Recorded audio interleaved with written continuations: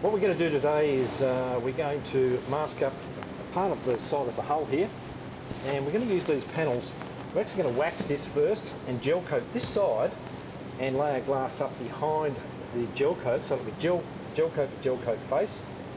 and so this is going to be uh, some internal panels we're going to use or we're going to cut down and cut them to size for a new uh, 25 centre console. These panels will take the internal shape of the hull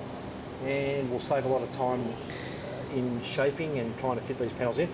and it will give us a much superior finish when the boat's made and ready to go.